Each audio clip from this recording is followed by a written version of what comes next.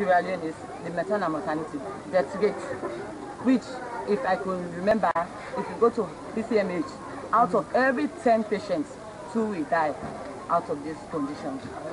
Okay. What do you think it'll take to change? How do you think the community could participate in changing this reality? We're talking about losing a lot of young women and a lot of mothers in, you know, in giving birth. Um, how do you think that, you know, uh, this community can be affected by AAPDEP presence here and the community at large participating in a healthcare program? I, if we can get a community health center here and we get doctors to train more health uh, uh, facilitators or to train more healthcare givers, that would be better for us. Women are forced to rely on their local birthing facilities that do not have the appropriate equipment and medicines to adequately deal with the issues that lead to death.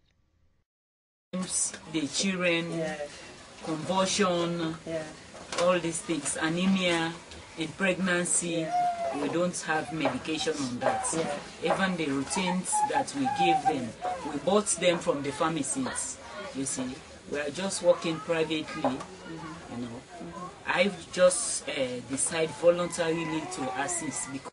conditions that we experience in Sierra Leone are of course the product of um, decades of neo-colonial state oppression, um, massive corruption, um, uh, neo-colonial state thuggery, uh, imperialist machinated exploitation, multinational corporate exploitation, which has deprived the vast majority of the people in this country. Number two, we go ask, we dey play to una for make una go out medical facility na ya.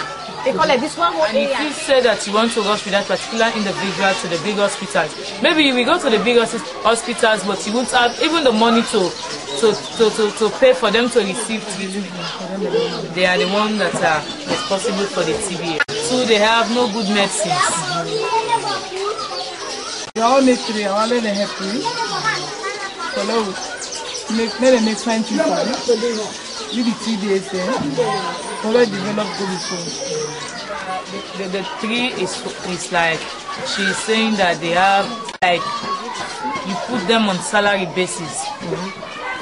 You put them on salary basis and create the medical kits for them, which they can use to do this delivery. Because as to, to be to be to be real, they have no good they have no medical kits to do delivery. The only medical kits they have is the hand gloves.